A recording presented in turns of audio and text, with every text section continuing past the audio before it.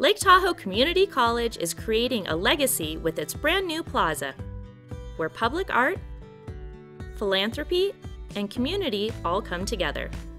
Why did we create the Coyote Legacy Plaza? What we were trying to do was create a sense of place on campus, a place that students could have a strong school spirit, a strong connection to Lake Tahoe Community College.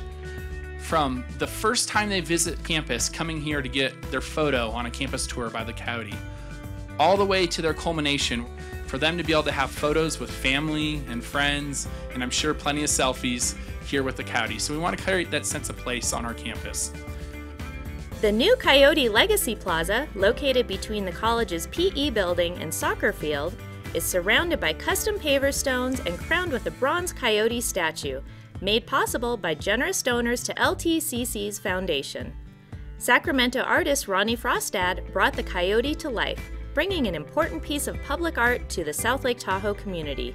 I got very, very uh, into uh, the coyote. This piece was a little more uh, feeling for me, and I, I could feel I could feel the, the, the, drive with people in this piece. So hopefully we have captured the uh, the likeness of your mascot, and hopefully everyone will enjoy it and for generations.